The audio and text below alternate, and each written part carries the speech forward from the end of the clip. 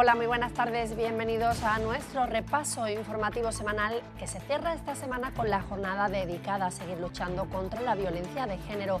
Es uno de los temas que destaca en la crónica semanal en la que el equipo de gobierno ha presentado los presupuestos municipales para el año que viene. Dos de las noticias que adelantamos en nuestro sumario antes de ampliarles otros asuntos del ámbito municipal, sindical o cultural.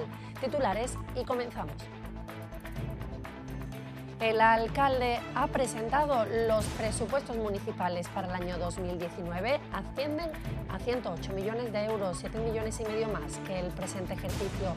La subida de este año se destinará a incrementar el gasto social, inversiones en mejoras para la ciudad y en el servicio de limpieza. Algeciras mostraba un año más su rechazo hacia los malos tratos con un acto institucional celebrado con motivo del Día Internacional contra la Violencia de Género fijado cada 25 de noviembre. Este año, además, se ha celebrado en la ciudad el primer congreso en el que expertos de asociaciones e instituciones han intercambiado experiencias para crear una conciencia social de género que permita erradicar una lacra social que sigue cobrándose vidas. Los padres de alumnos del Colegio Puerta del Mar exigen una vez más soluciones para las deficiencias estructurales del centro.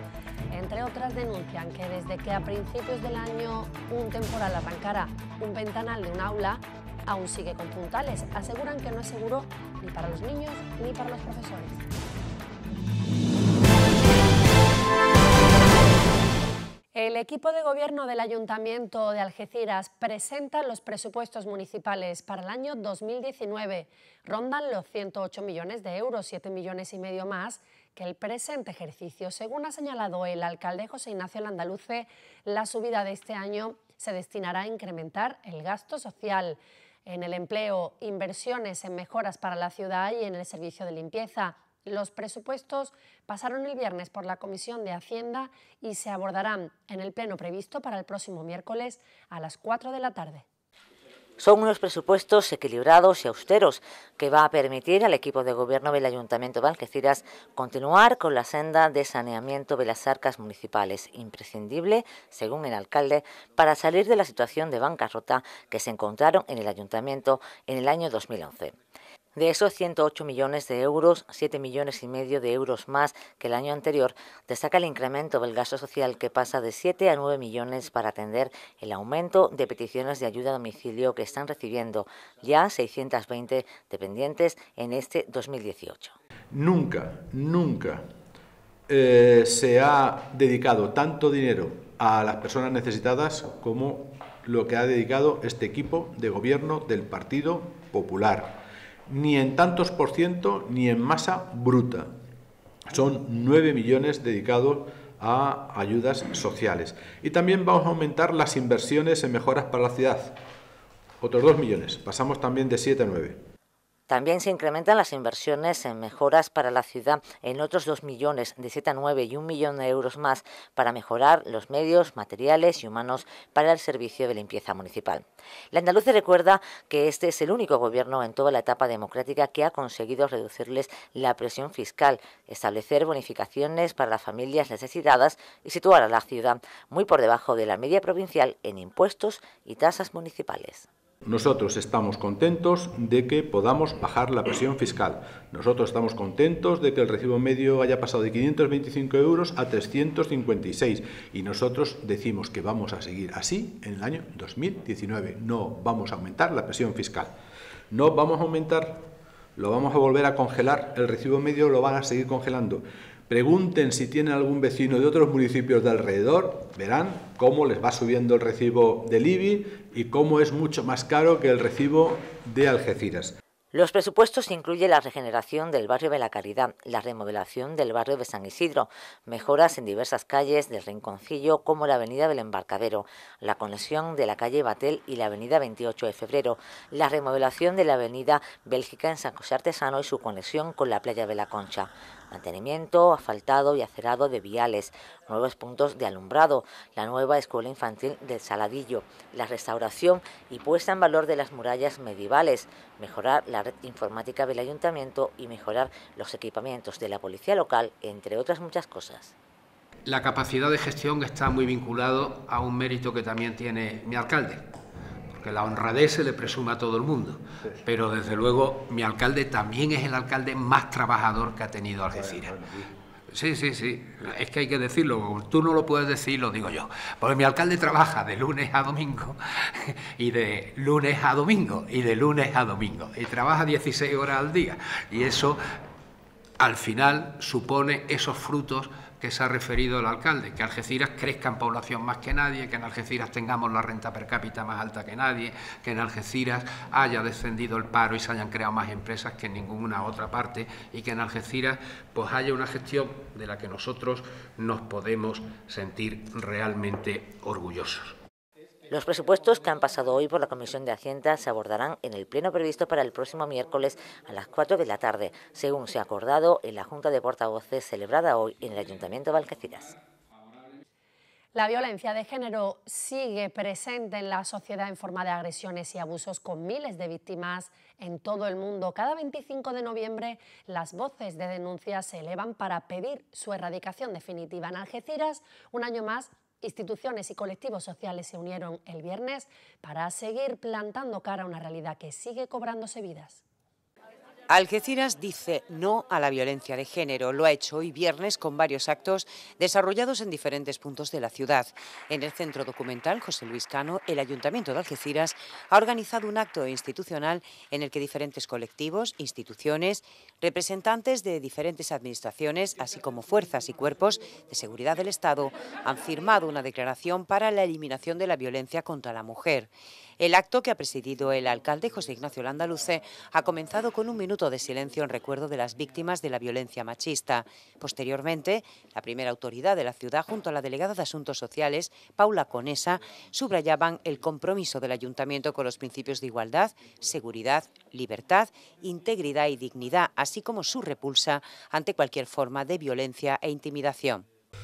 Todos debemos de concienciarnos, todos debemos de unir nuestras fuerzas y poderes y así todos debemos conjurarnos para erradicar la violencia de género, ya que es el terrorismo eh, más cercano que estamos sufriendo día a día.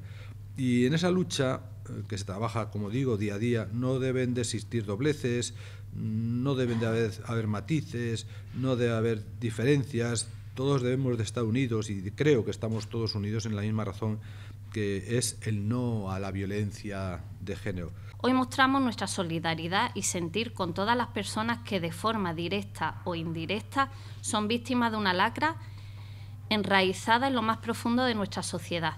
Una sociedad que, a sus 40 años de democracia, aún no ha sido capaz de alcanzar la igualdad real entre hombres y mujeres, reclamar dejar de ser valientes para empezar a ser libres. Cuando se cuentan por miles las víctimas que sufren cada día el quebranto de la mayor violación de derechos humanos, las entidades locales reafirmamos nuestra repulsa ante cada una de las manifestaciones machistas, por inofensivas que parezcan, así como nuestra condena absoluta a las agresiones y a los asesinatos que fracturan la paz en nuestros territorios. Recuerden, el 016 es el teléfono para denunciar los malos tratos. Es gratuito y no se queda reflejado en la factura del teléfono, aunque sí hay que borrarlo en el registro de llamadas. Con motivo del Día contra la Violencia de Género se celebraba esta semana en Algeciras el primer congreso sobre la materia, organizado por la Asociación de Mujeres Progresistas Victoria Ken, con la colaboración del Instituto Andaluz de la Mujer y el Ayuntamiento de la Ciudad y la ONCE. Este foro pretendía concienciar y sensibilizar a la población sobre esta lacra social. En este primer congreso sobre violencia de género y a través de ponentes llegados de distintos puntos del país vinculados profesionalmente con la violencia de género, se informará al público. La institución municipal que colabora en este congreso trabaja diario y de forma transversal en esta problemática social, junto al Instituto Andaluz de la Mujer por medio del Centro Municipal de Atención a la Mujer en una problemática que no distingue en sexo, estrato social o edad y que afecta en la misma medida de solamente es cosa de aunar administraciones y todo el que tenga algo que aportar y que pueda mejorar porque siguen fallando los mecanismos y esperemos que por fin se puedan poner en marcha todas esas medidas de ese pacto nacional que, se firmó con la mayoría de los partidos políticos del Gobierno, porque hace mucha falta y sobre todo hace mucha falta a los ayuntamientos, porque al final somos las administraciones más cercanas y son a las que van a acudir para que podamos ayudar y, llegar a ese objetivo. En este foro se pone el acento en el denominado terrorismo machista, que desde el año 2003 hasta la fecha se ha cobrado la vida de casi mil mujeres en España. Un terrorismo que ocurre en muchas ocasiones a puerta cerrada y que supone en nuestro país la primera causa de muerte de la mujer, por encima del cáncer de mama. Son cifras que se ponen encima de la mesa de este primer Congreso con el objetivo de sensibilizar e informar sobre la violencia de género. La problemática se expande y cambia según las edades y es que en la actualidad, apuntan desde el Instituto Andaluz de la Mujer, crece el número de adolescentes víctimas de la violencia de género. El Instituto Andaluz de la Mujer tiene un programa donde atendemos a chicas adolescentes que ya son víctimas de violencia de género. Desde el año 2012 nos dimos cuenta que nos encontramos unas nuevas formas de violencia de género, que son las llamadas violencias de control, donde estas chicas realmente tenían un problema porque casi normalizan las situaciones y no son conscientes de que están sufriendo violencia de género. Ellas no lo, visibilizan y sus padres y sus madres no saben qué hacer. Entonces pusimos en marcha este programa donde atendemos a chicas. Aquí en la provincia, en lo que va de año, son 12 niñas nuevas que hemos atendido este año a fecha de hoy los datos. Por lo tanto, son datos relevantes que nos preocupan. Asociaciones, colectivos y administraciones trabajan de la mano para elaborar una conciencia social de género. Es por lo que ha surgido este primer congreso donde a través de ponencias que ofrecen psicólogos, trabajadores sociales, guardias civiles, médicos, fiscales, abogados y profesores exponen sus experiencias profesionales y puntos de vista sobre esta problemática he sentido el arrope y el cariño de los profesionales que van a venir aquí a contarnos mm, sus experiencias, tanto personales como profesionales, en este ámbito. Eh, además de manera altruista, eh, de muchos puntos de Cádiz, de Barcelona, de La Línea, de gente de aquí de Algeciras, eh, y nadie me ha dicho que no, me han dicho sí, Rocío, para adelante y además lo que necesite. Y yo eso es de agradecer porque veo la conciencia mm, social que hay por lo menos dentro de los profesionales a la hora de querer eh, sensibilizar a lo que es la población. Eso es súper importante. Si hoy no han podido asistir, ya que la entrada es gratuita y libre, sepan que mañana se celebra la segunda jornada del Congreso desde las nueve y media de la mañana hasta las dos de la tarde en el Salón de Actos del edificio de la ONCE en Algeciras. La redacción del Plan de Movilidad Urbana se encuentra en la fase de información a diferentes colectivos sociales para recabar sugerencias de acción. Los portavoces de los grupos municipales también han recibido la información sobre el diagnóstico realizado tras el análisis de la movilidad en la ciudad. La tendencia es apoyar una movilidad menos contaminante. Se prevé que este documento esté finalizado a comienzos de año.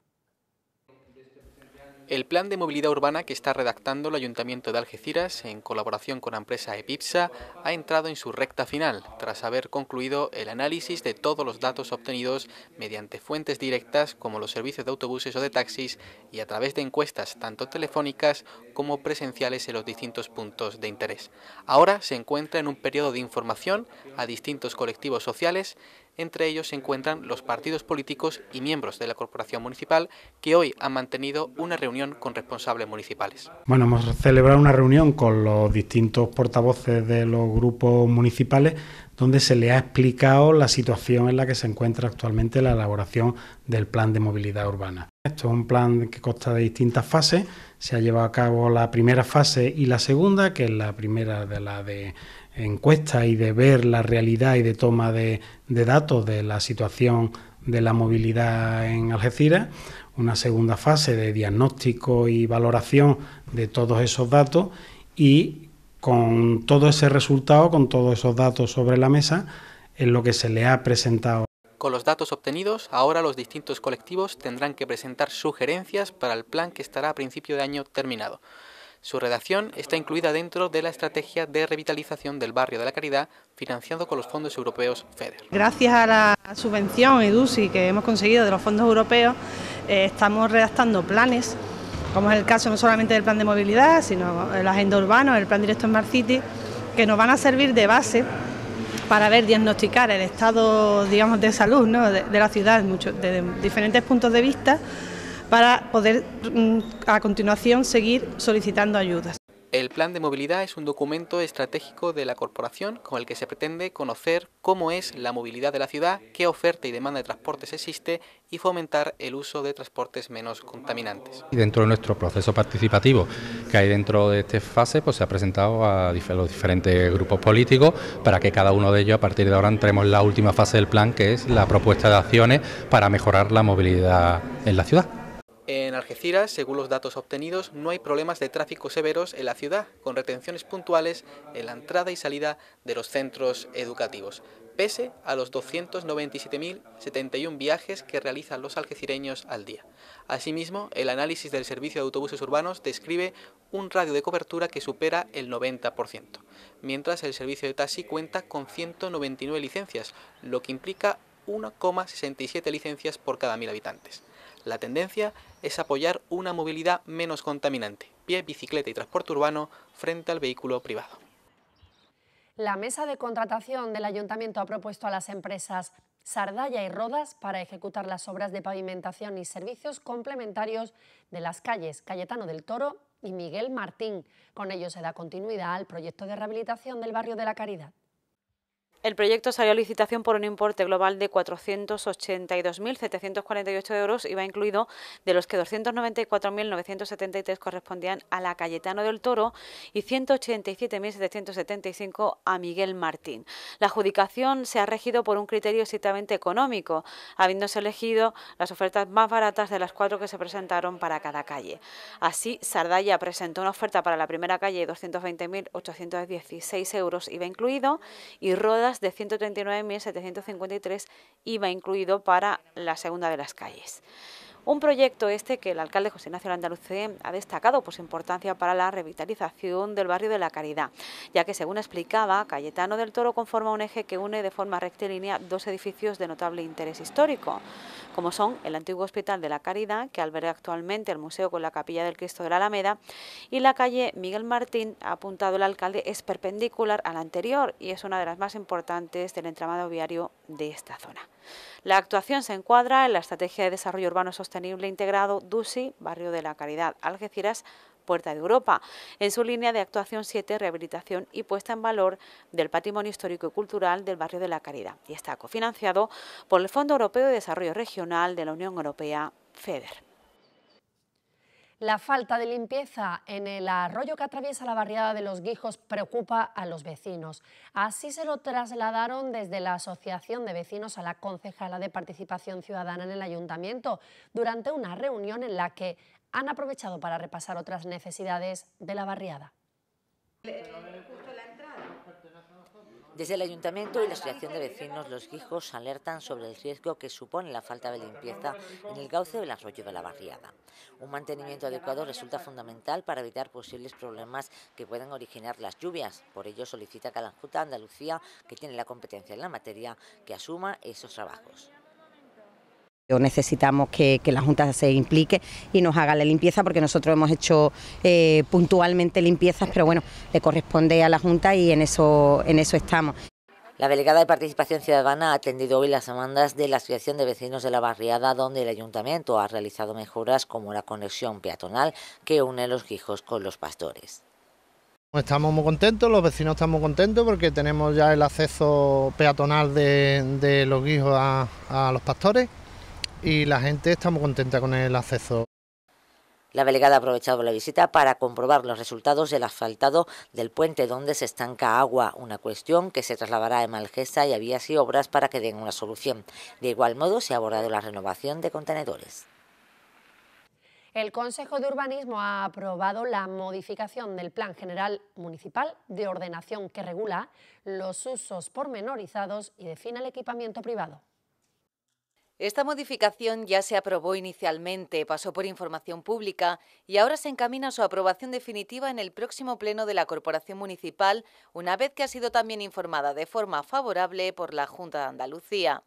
Según explicó el delegado, se trata de mejorar la regulación y definir la ubicación y los usos de determinados equipamientos privados sobre los que hay una cierta indefinición que llega a ocasionar problemas a la hora de la concesión de las licencias. Eh, consiste eh, en corregir pues, algunos eh, artículos del plan general sobre el uso de, equipamientos y en temas referentes a hostelería para posibilitar lo que es el desarrollo de determinados usos y, actividades que son compatibles con el uso, que sean compatibles con el uso residencial. Resolver también una incertidumbre que había eh, entre lo que era la regulación de los equipamientos públicos y privados. Además, se adaptan los artículos que regulan las instalaciones de gasolineras a la normativa de la nueva ley de hidrocarburos y de apoyo al emprendimiento. González de la Torre explicó que la instalación de gasolineras está actualmente regulada en el Plan General, pero que hace falta una actualización a la nueva legislación porque en ocasiones se producen criterios confrontados. También en el Consejo se aprobaron otros asuntos de trámite, como la concesión de licencias para la construcción de una vivienda unifamiliar para un proyecto de instalación de un ascensor y la realización de mejoras de accesibilidad en un edificio de la calle Alfonso XI. Finalmente se concedieron tres licencias para obras de adaptación de locales. Las empresas municipales de limpieza, Algesa y de comunicación en Calsa celebraban el viernes sus respectivos consejos de administración. Los consejos de administración de las empresas municipales de limpieza, Algesa y de comunicación en Calsa se han celebrado esta mañana y han estado presididos por sus respectivos consejeros delegados, los tenientes de alcalde Luis Ángel Fernández y Susana Pérez Custodio. En ambos se ha presentado a los consejeros las previsiones de ingresos y gastos para el 2019 que se llevarán para su aprobación si procede a las juntas generales del próximo miércoles 28 de noviembre.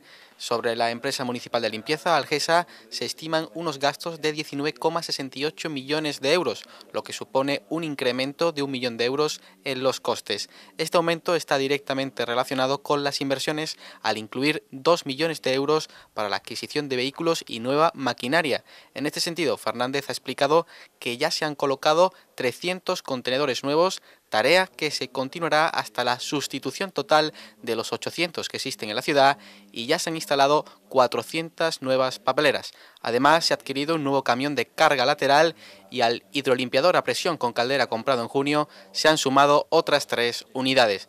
Se acaba de recibir también un nuevo camión de recogida de basuras de 12 metros y un camión portacontenedores que se está preparando en estos momentos y también se va a adquirir nuevas barredoras, cubas de agua y camiones de recogida de enseres. Asimismo, ante la inminente municipalización del servicio de transporte urbano y su adscripción al GESA, se ha previsto también la adquisición de cinco microbuses, estando ya el pliego en licitación. Asimismo, el consejero delegado de Algesa ha informado de que se ha conseguido eliminar la deuda histórica que se mantenía con la seguridad social. En relación a Encalsa, las cuentas se mantienen en cifras similares a las de años anteriores, en las que los ingresos vienen generados por la subvención municipal y por la actividad comercial que genera Onda Algeciras Televisión. Los gastos ascienden a 1,3 millones de euros. Pérez Custodio ha destacado que, igual que ocurre con Algesa, no se tienen deudas con la agencia tributaria ni con la seguridad social.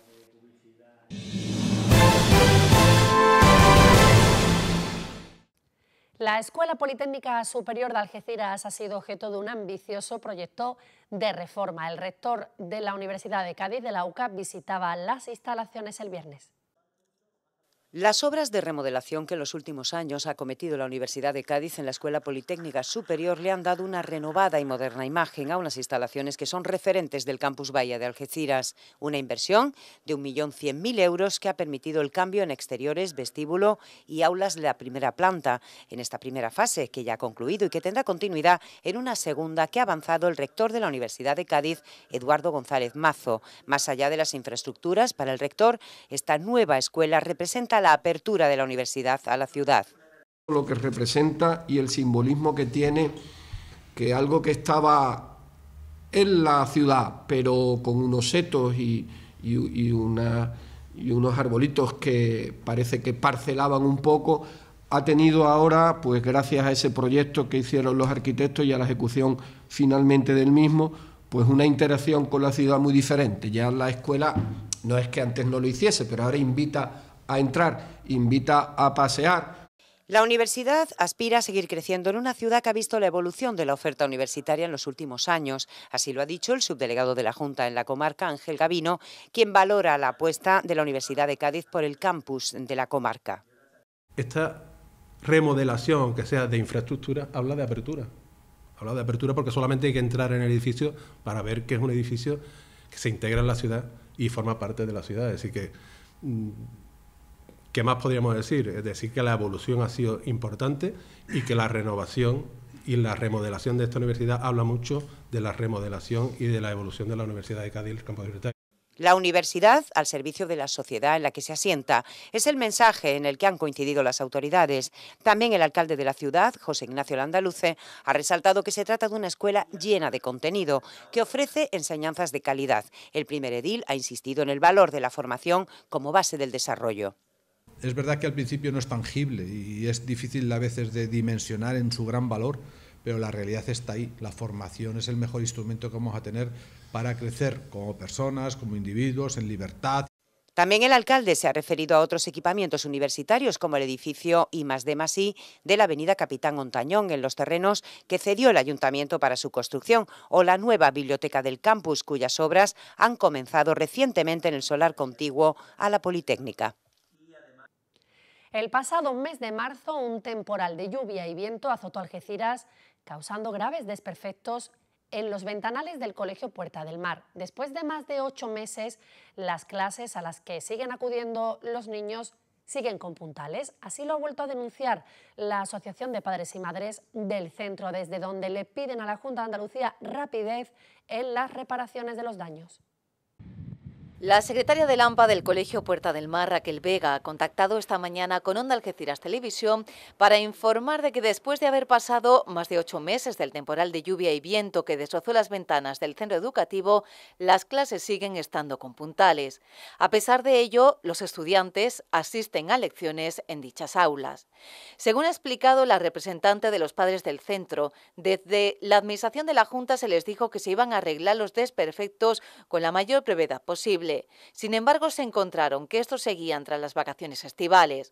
La Junta de Andalucía les ha comunicado que el arreglo de los ventanales se encuentra dentro de la tercera fase de reforma del centro, con el objeto de acelerar los trámites.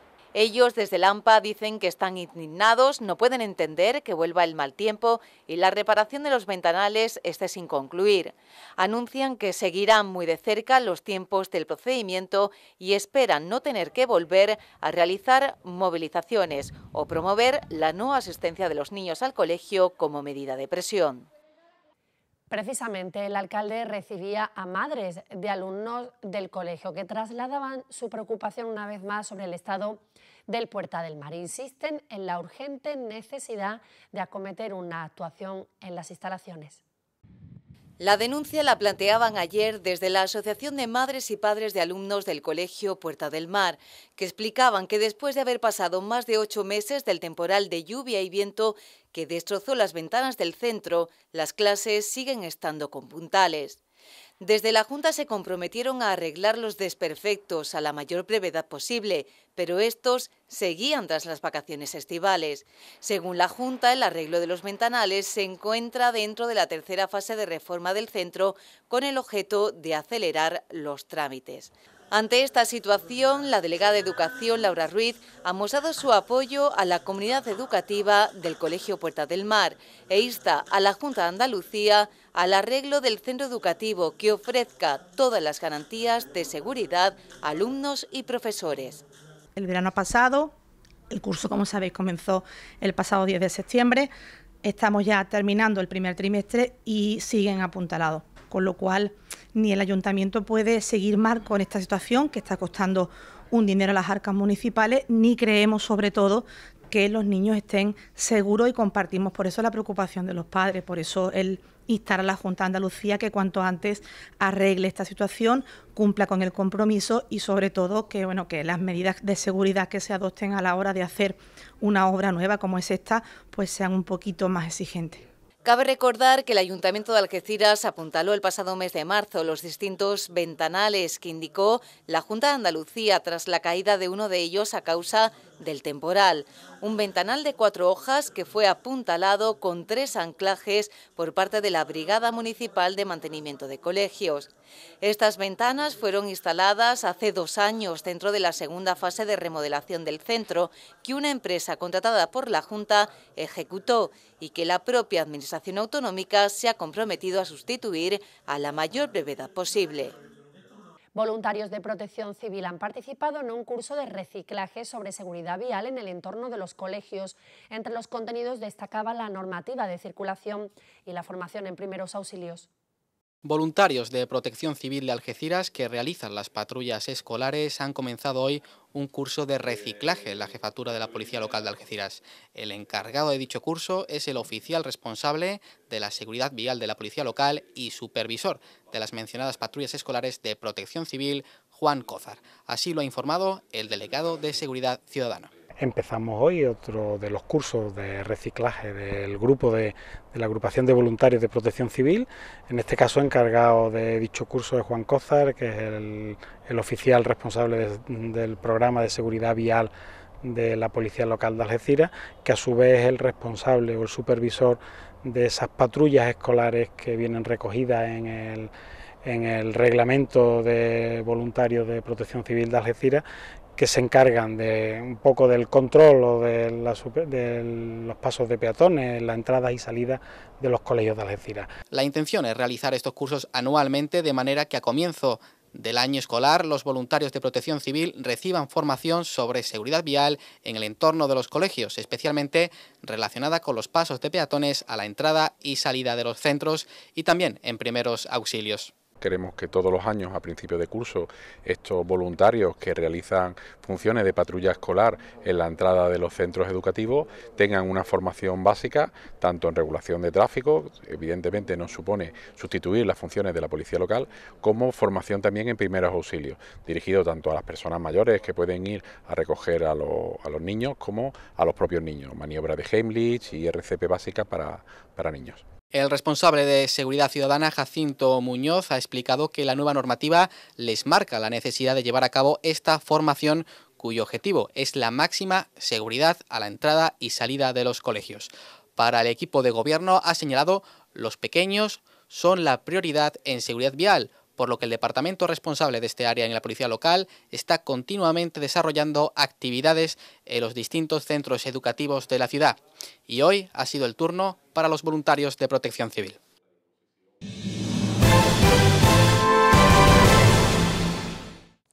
Los funcionarios de prisiones protagonizaron nuevas jornadas de huelga esta semana, reclaman mejoras en sus condiciones laborales. Los sindicatos UGT, Agrupación de los Cuerpos de la Administración de Instituciones Penitenciarias, Comisiones Obreras y CESIF convocaron la semana pasada nuevamente huelga del 17 al 20 de noviembre en los 84 centros penitenciarios dependientes de la Secretaría General de Instituciones Penitenciarias. Para las organizaciones convocantes se ha demostrado la poca voluntad política y la manipulación mediática del Ministerio del Interior, así como la falta de apoyo de los diferentes grupos parlamentarios a sus reivindicaciones, mejoras en sus condiciones laborales, más personal y formación y una subida de salario que se adecue a las reales cargas de trabajo. Los convocantes de la huelga exigen al ministro Fernández Grande Marlasca que desbloquee la situación de conflicto laboral y se siente a negociar y ponga encima de la mesa como mínimo la propuesta de subida retributiva que anunció a la parte social el 25 de septiembre, es decir, un incremento retributivo de media aproximativo de 375 euros en el complemento específico para los ejercicios de 2019, 2020 y 2021. Representantes de funcionarios de prisiones se reunían también con el alcalde para trasladarle un dossier con sus principales reivindicaciones y pedirle su mediación en el Senado. El alcalde se comprometía a entregar el documento a la Comisión de Interior. Los funcionarios de prisiones han constituido una plataforma a nivel nacional apolítica y asindical bajo el lema Tu abandono me puede matar, que según indican sintetiza su sentimiento de abandono de partidos políticos y sindicatos e incluso de la propia sociedad. Por ello, una de las reivindicaciones es la de salir de la invisibilidad y el desamparo en los que se sienten inmersos y obtener el apoyo que necesitan para el mejor desempeño de sus funciones. Los funcionarios reclaman más recursos y materiales de trabajo adecuados, equiparación salarial, formación específica y ser considerados agentes de la autoridad, dándose el caso de que su testimonio no tiene presunción de veracidad y se sitúa al mismo nivel que el del interno denunciado. También consideran necesario que haya más personal y equipos técnicos para tratamientos que permitan llevar a cabo una política de reinserción que, según explica, hoy por hoy es inexistente.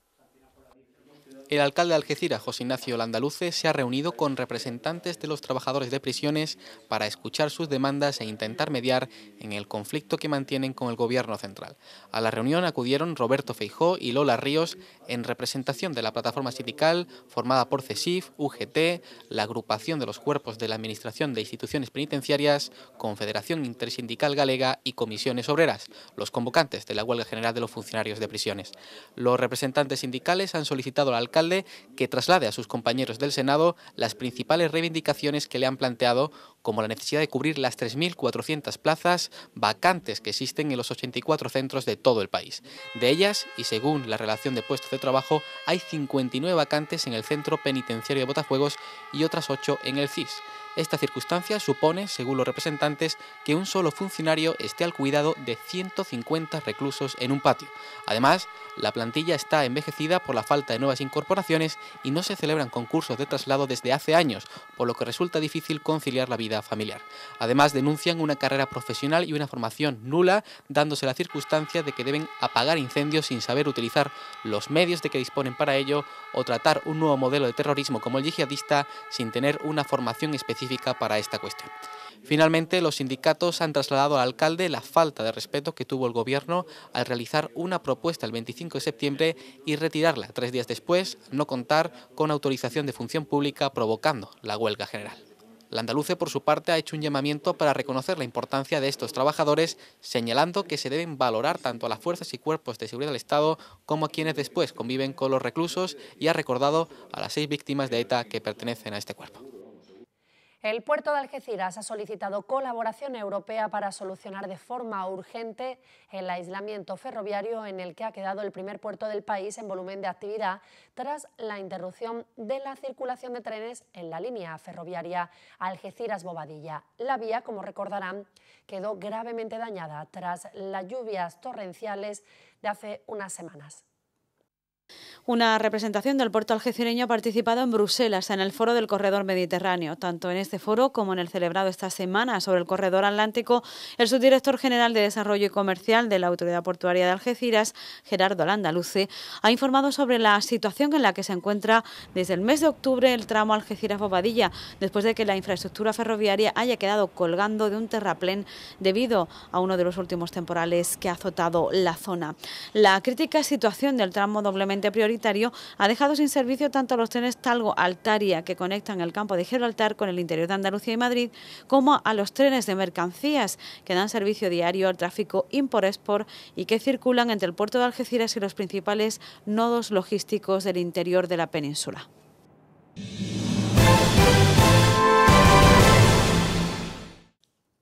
Esta semana se ha celebrado en el Ayuntamiento la reunión de coordinación del dispositivo que el consistorio va a poner en marcha con motivo de la celebración de las elecciones autonómicas del 2 de diciembre. Habrá 42 colegios electorales con 134 mesas. En cuanto al censo electoral, 89.445 ciudadanos de Algeciras están llamados a las urnas. En la reunión presidida por la teniente alcalde delegada de Estadística, Eva Pajares, han estado presentes el secretario general del Ayuntamiento, José Luis López Guío, que es el coordinador del operativo, así como los responsables de otras áreas como personal, estadística, informática, policía local y nacional o vías y obras. El objetivo de la reunión es coordinar todo el trabajo de cara a las elecciones autonómicas del próximo 2 de diciembre para que todo transcurra con normalidad y sin incidentes. Empezar también eh, a montar el dispositivo central, la sala central que se hará aquí en la sala de comisiones del ayuntamiento, pues que se empezará ya a partir de mañana el montaje y que la semana que viene, bueno, pues tendremos una primera, otra segunda reunión ya en el, con el dispositivo montado. eh, hay un amplio dispositivo municipal compuesto por personal de secretaría, incluso de la policía local, del servicio de vías y obras, para todo el tema del mantenimiento de los colegios, de educación, vuelvo a decir, tanto policía local como policía nacional, porque en algunos casos vigila los colegios la local y en otros la nacional, y un dispositivo que se puede cifrar en más de 100 personas. Un total de 89.445 electores en Algeciras están llamados a las urnas. Para ejercer el derecho al voto se han establecido 42 locales electorales, los mismos que en los anteriores comicios. En cuanto a mesas, hay ocho más que las pasadas elecciones. El centro de datos estará, como siempre, ubicado en el ayuntamiento de la ciudad. Y sepan que dentro del dispositivo electoral que prepara el ayuntamiento se incluye un servicio de ambulancia para trasladar a los colegios electorales a las personas con problemas de movilidad. Los electores que se encuentran en estas circunstancias pueden llamar durante la jornada del 2 de diciembre a un teléfono, el 956 222 222 para solicitar que se les traslade al colegio que les corresponde.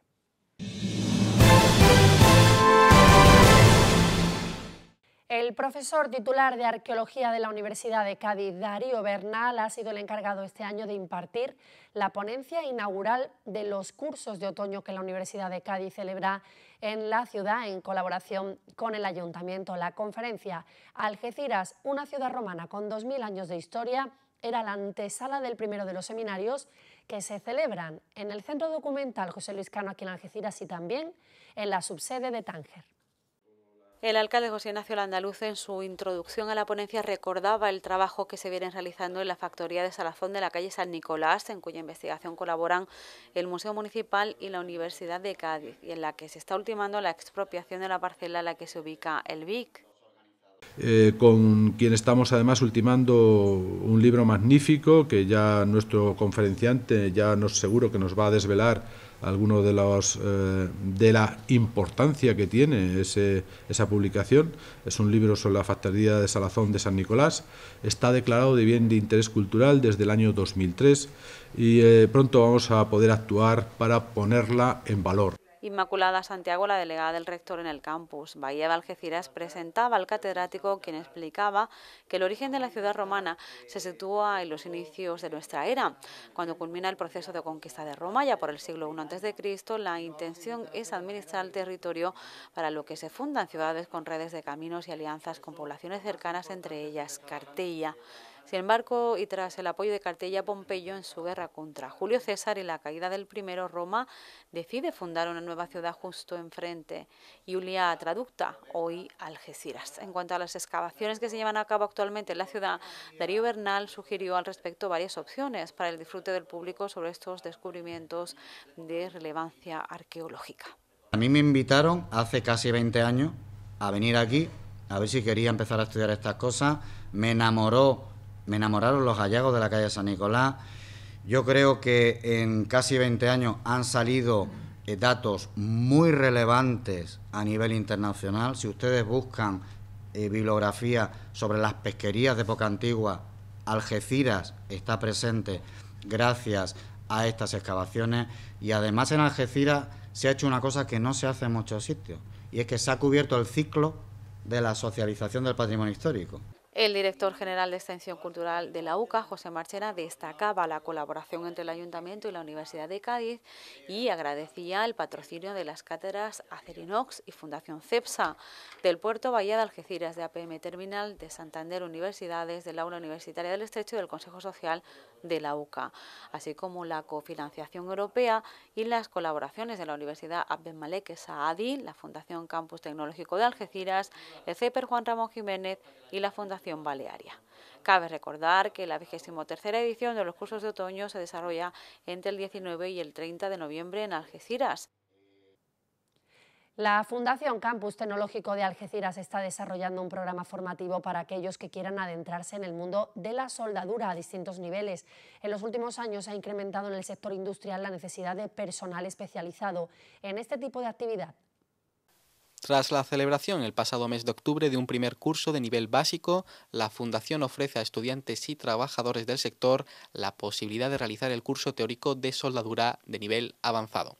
Este dará comienzo el jueves en las instalaciones del edificio I de del campus tecnológico y se desarrollará a lo largo de seis días en horario de tarde. Con este curso se pretende dotar al alumno de conocimientos para cuestiones concretas como la lección de métodos de soldadura, cálculos de resistencia de uniones soldadas, elaboración e interpretación de procedimientos de soldadura, tipos de tratamientos térmicos, así como conocimientos sobre las aleaciones más usadas en las grandes industrias. Los interesados pueden acceder al programa completo del curso y la inscripción a través de la web de la Fundación Campus Tecnológico o contactando directamente con el área de formación de la entidad. Arranca una nueva escuela taller en la ciudad. 15 alumnos se forman en gestión administrativa gracias a esta nueva iniciativa. Ha sido en el vivero de empresas del ayuntamiento donde están los 15 alumnos menores de 25 años que se formarán en el certificado de profesionalidad actividades de gestión administrativa. Esta formación, que viene financiada por los fondos de la Administración del Estado a través de la Delegación Territorial de Economía, Innovación y Empleo de Cádiz, cuenta con una subvención superior a los 214.000 euros. Contará con unas competencias claves en materias de matemáticas y lengua durante 240 horas. Algeciras Administra está destinada para alumnos menores de 29 años y que tendrán dos ciclos de formación. Habrá un ciclo de formación eh, de matemáticas y lengua que estará, constará de 240 horas. Una vez que superen esta primera fase, comenzarán la formación del certificado de profesionalidad para continuar la formación con el trabajo en los distintos departamentos del ayuntamiento. La Comisión Mixta de la Cátedra Fundación CEPSA ha concedido los premios Cátedra 2018 a Marta Ferreiro, Francisco Sánchez de la Flor, Juan Jesús Martínez, Enrique González y María Nieves Fernández. Todos ellos son alumnos de la Universidad de Cádiz. Con estos reconocimientos anuales, la Cátedra Fundación CEPSA premia distintos trabajos de investigación de fin de carrera, patentes y publicaciones vinculadas con la energía, el petróleo y el medio ambiente. El comité de expertos ha decidido premiar estos cinco proyectos por su innovación y originalidad, su tratamiento científico, tecnológico, además por su relevancia y aplicabilidad. Este año la calidad de los trabajos presentados ha hecho que la comisión mixta premie hasta tres propuestas en la modalidad de trabajos finales de estudios universitarios. Desde su fundación en 2005, la actividad de la cátedra se centra en promover e incentivar aspectos vinculados con la formación, la investigación, transferencia tecnológica y la difusión. Las relaciones entre la Universidad de Cádiz y CEPSA se remontan a la creación de la Escuela Universitaria de Ingeniería Técnica Industrial de Algeciras, impulsándose con su transformación en Escuela Politécnica Superior en 1988. Desde entonces se han realizado colaboraciones y firmado convenios específicos en muy diversos aspectos. La empresa BOPAC desarrolla en la ciudad el taller del proyecto Conecta con el empleo, programa de la Fundación WeConnect de la compañía para la mejora de la empleabilidad de los jóvenes en riesgo de exclusión social. Una veintena de jóvenes algecireños participa en la iniciativa. El proyecto impulsado por la Fundación WeConnect de BOPAC, desarrollado por la entidad Meridianos, que cuenta con la colaboración del Ayuntamiento de Algeciras, comenzó en octubre y finalizará en febrero y ha contribuido a la inserción laboral de seis de los 20 alumnos participantes. Además, cuatro de ellos han retomado los estudios. Diego de Salas mostró su satisfacción por los resultados del taller y la inserción laboral que ha supuesto para esos jóvenes. Por su parte, la directora de Recursos Humanos de Bopac Terminal Algeciras, Maribel Gutiérrez, acompañada del director de la terminal, Juan Jesús Reyes, explicó que el proyecto se complementa con la atención a jóvenes en riesgo de exclusión y da respuesta a la mayor necesidad social que tiene la ciudad, el desempleo. OPAC ha contado con la colaboración de Meridianos, entidad sin ánimo de lucro que ofrece a los jóvenes la oportunidad de ser protagonistas de su proceso educativo y parte activa de la sociedad, mediante programas y sistemas de integración innovadores en áreas educativas y formativas. Meridianos ha empleado para el proyecto Conecta con el Empleo una metodología innovadora basada en el trabajo de capacitaciones y competencias. Las estrategias de actuación consisten en la realización de talleres sobre las herramientas actuales de búsqueda de empleo y la realización de dinámicas para trabajar competencias transversales necesarias para la mejora de la empleabilidad y que son demandadas por las empresas, de forma que hagan más efectiva la exención laboral de las personas participantes. El Ayuntamiento de Algeciras, por su parte, ha contribuido al proyecto con la búsqueda de participantes, apoyo y orientación en aquellas actuaciones que aporten valor, así como la cesión de aulas y espacios para el desarrollo de las actuaciones. Más de un millar de personas han visitado la exposición Andalucía, la imagen cartográfica Algeciras, puerto de mares y continentes. Ha estado expuesta en el Museo Municipal de la ciudad y se clausuraba esta semana. La exposición que podrá ser visitada hasta mañana martes ha permitido a sus más de mil visitantes, llegados de los cinco continentes, disfrutar y conocer una selección de mapas y planos originales y reproducciones pertenecientes a archivos y bibliotecas de Cádiz, así como de otras procedencias. La exposición, como hemos comentado, ha sido muy exitosa. De hecho, la mejor manera de ver eh, cuál es el éxito de una exposición es el número de visitantes que ha habido, más de mil, y con orígenes muy variados, no solamente de la comarca, que todos los municipios han estado aquí representados, sino que hemos tenido visitantes de los cinco continentes. Y también eh, ha tenido mucha importancia la labor que se ha hecho desde el museo en cuanto a la difusión para el público eh, pequeño. De hecho, tenemos en, el claustro maquetas que realizaron sobre un plano de Tofiño del siglo XVIII. La muestra ofrece una visión panorámica de los mapas dedicados a Andalucía desde los principios de la cartografía, junto con un acercamiento a las representaciones cartográficas de Algeciras, su puerto y del estrecho de Gibraltar desde la perspectiva de su historia y evolución hasta el presente. Ha sido una exposición muy visitada que ha permitido proyectar además conocimiento respecto a la cartografía histórica, no solo de la bahía eh, de Algeciras, a lo largo de toda la historia y por tanto estamos proyectando pues esa Algeciras, esa comarca en positivo. La exposición ha sido organizada conjuntamente por el Centro de Estudios Andaluces, el Instituto de Estadística y Cartografía de Andalucía, la Autoridad Portuaria de la Bahía de Algeciras, el Ayuntamiento de la ciudad y la Universidad Internacional de Andalucía. El artista gaditano Arsenio Rodríguez trae a Algeciras su exposición Pescador de Botellas. De la mano de la Diputación Provincial de Cádiz, la muestra se puede visitar eh, desde esta semana hasta el próximo día 28 de noviembre en el Centro Documental José Luis Cano.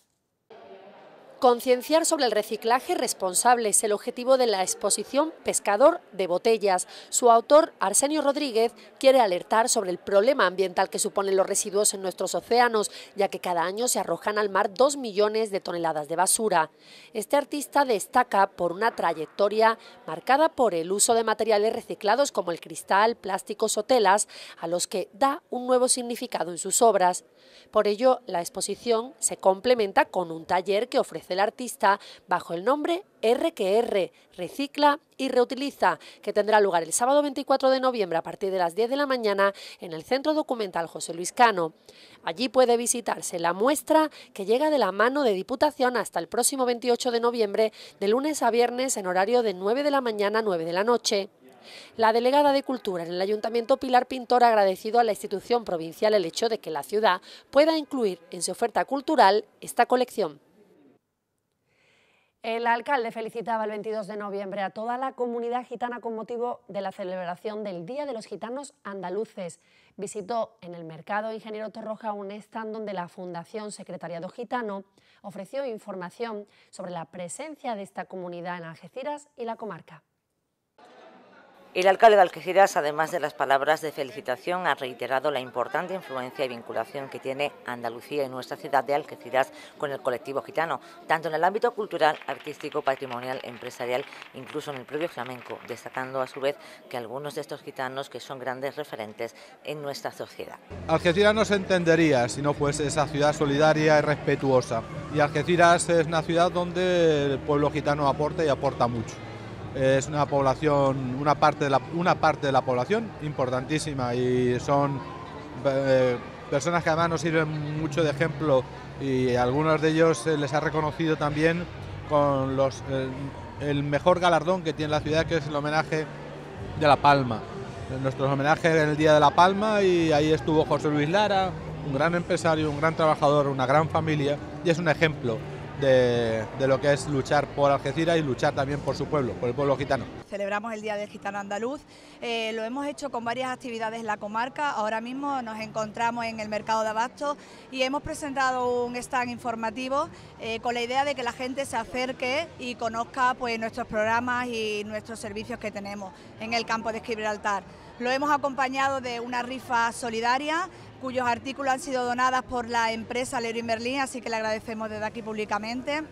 Y también lo hemos acompañado, como decía el señor alcalde, de un potaje de, de berza para este día de lluvia. Eh, siempre estamos encantados de acompañarlo porque es una parte súper importante de nuestra población y ellos van a dar a conocer todos los talleres y todas las cosas que hacen para la integración de los gitanos donde trabajan en distintas empresas para que luego puedan tener un futuro laboral. Simplemente felicitar en el Día del Gitano Andaluz esta efeméride se viene conmemorando desde el año 1996 cuando el Parlamento de Andalucía aprobó una declaración institucional relativa a esa celebración. Ese año se cumplen 556 años desde la llegada del pueblo gitano a Andalucía, hito histórico que viene recogido en los hechos del condestable don Miguel Lucas de Iranzo, que fue el gobernador de Jaén y primer andaluz en acoger miembros del pueblo gitano allá por el año 1462.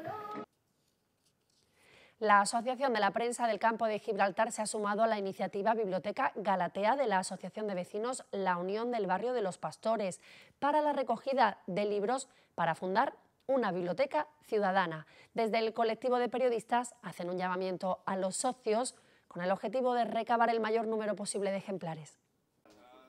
La Asociación de Vecinos La Unión está actualmente trabajando en un proyecto para la instalación en el barrio de una biblioteca y zona de estudio. El objetivo es colocar en terrenos aledaños a la sede vecinal varios contenedores para crear un espacio lúdico educativo con tres ambientes, convivencia para adultos y menores, biblioteca y área de estudio y otro destinado a zona formativa. La Asociación de la Prensa del Campo de Gibraltar ha querido implicarse en este interesante proyecto denominado Biblioteca Galatea, colaborando en la recogida de todo tipo de libros, tanto infantiles y juveniles como para adultos.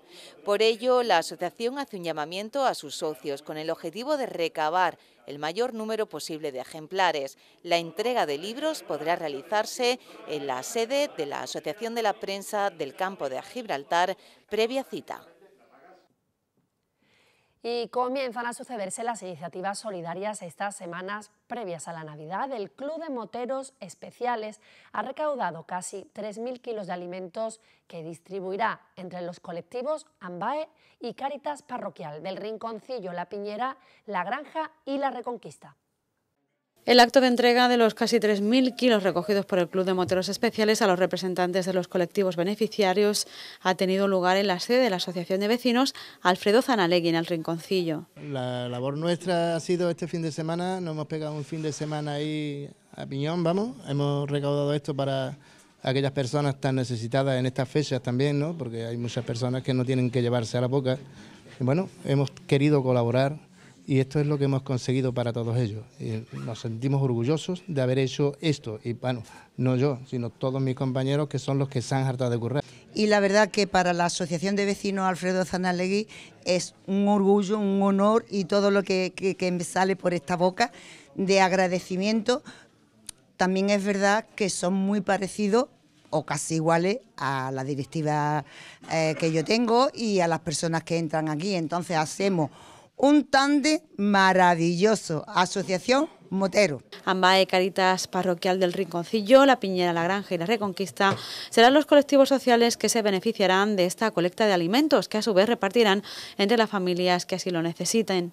Llevamos ya cinco añitos ya con el comedor y desde luego tenemos muchísima ayuda de, la Caixa, de, de ellos, ¿no? que nos ayudan un montón de veces de llenar, eh, yo qué sé, de todo, del banco de alimentos, de todo, ¿vale?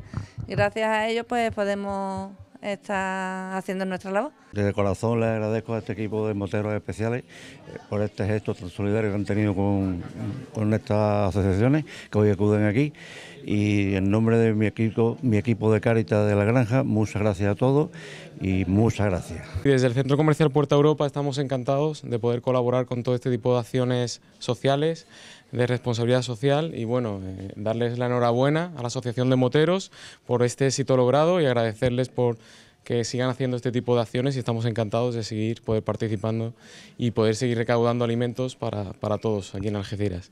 La Andaluz ha aplaudido el compromiso social del club, recordando además que el pasado 8 de octubre entregaron también a Ambael los alimentos que compraron para donar. Además, gracias a los beneficios surgidos por la participación en Algeciras Entre Mares 2018 coincidió también en resaltar la solidaridad de los algecireños en cualquier momento del año esta labor de compromiso social, de ayudar a las personas más necesitadas, a los más desfavorecidos, es a lo largo del año. Y es a lo largo del año de todos, en momentos críticos como este verano o en cualquier otra circunstancia, en problemas cuando viene la ola de frío, cuando vienen las olas de calor, y ahí que tenemos un montón de asociaciones. Algunas están más estructuradas en cuanto a la labor social. Caritas, la parroquia del Carmen, el comedor del Padre Cruceira, Cruz Roja, Cruz Blanca, eh, Prolibertas. Pero después están un montón de asociaciones, AMBAE, los moteros, las asociaciones de vecinos, que entre todos juntos hacen la gran familia solidaria de Algeciras y el Banco de Alimentos del Campo de Gibraltar prepara su tradicional gran recogida prevista para los próximos días 30 de noviembre y 1 de diciembre. Los voluntarios estarán en los más de 11.000 puntos de donación que habrá habilitados en hipermercados, supermercados y tiendas de alimentación en todo el territorio nacional y, por supuesto, también aquí, en Algeciras. Por sexto año consecutivo y ante la constatación de que las necesidades alimentarias de miles de familias españolas siguen siendo una realidad, la Federación Española de Bancos de Alimentos, junto a los 55 bancos que la integran, celebrarán la Gran Recogida de Alimentos 2018. Esta extraordinaria operación se va a desarrollar los próximos días 30 de noviembre y 1 de diciembre en todo el país, con el lema Sé protagonista. El objetivo de la gran colecta de este año es alcanzar los 22 millones de kilos de alimentos no perecederos logrados en pasadas ediciones. Para conseguir esta meta, los bancos de alimentos precisarán, además del apoyo ciudadano y la difusión en los medios de comunicación y en redes sociales, o con el apoyo de webs solidarias, la implicación de su principal motor, los voluntarios. En esta ocasión se necesitarán unos 130.000 voluntarios que de forma generosa y altruista dediquen cuatro horas de su tiempo a motivar al para hacer sus donaciones e informarles sobre el tipo de alimentos que más se necesitan para la cesta básica. Los voluntarios estarán en los más de 11.000 puntos de donación que habrá habilitados en hipermercados, supermercados y tiendas de alimentación en todo el territorio nacional. Allí los donantes podrán entregar sus alimentos, así como también en las mesas de recogida de un importante número de empresas, centros educativos y diferentes instituciones que se sumen a la iniciativa. Es todo, así nos marchamos. Ya saben que cada día tienen una cita con la información aquí en Onda Algeciras Televisión, en nuestros informativos diarios a las 9 y media de la mañana en nuestro matinal y a las 2 y 8 de la tarde en las siguientes ediciones del informativo y también cada fin de semana con nosotros aquí en el 7 días. Gracias por su compañía. Adiós.